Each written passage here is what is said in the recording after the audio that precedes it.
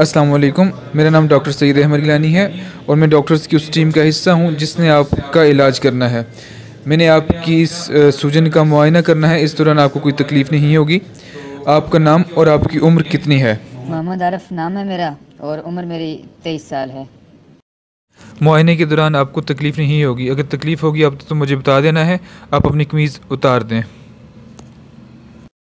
a proper exposure should be there so we can examine in a best way.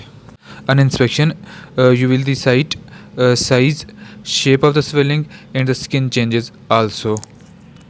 You will inspect pre-auricular area and the post-auricular area also and you will examine the other side also. So after that uh, you will go to the second step which is the palpation.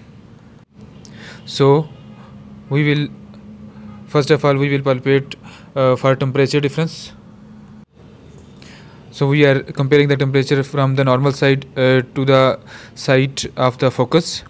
We will uh, examine about the consistency margins edges of the swelling.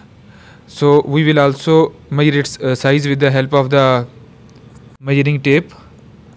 We will also do skin pinch test.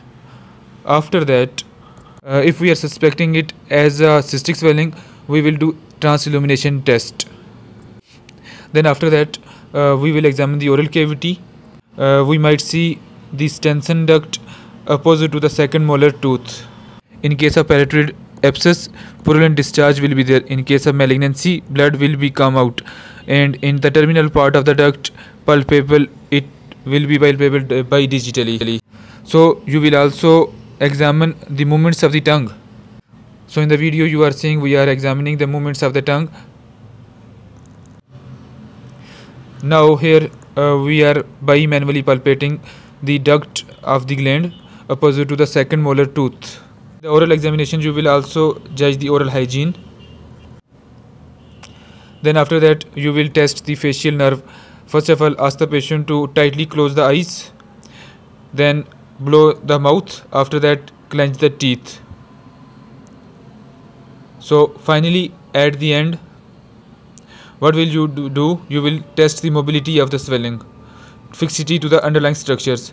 Now at the end uh, we will examine uh, the lymph nodes. Submental lymph nodes then submandibular lymph nodes then the anterior triangle uh, lymph nodes posterior triangle lymph nodes preauricular lymph nodes post-auricular lymph nodes and the occipital lymph nodes. At the end uh, shrug the shoulder to check the supraclavicular lymph nodes and say thanks to the patient thank you so much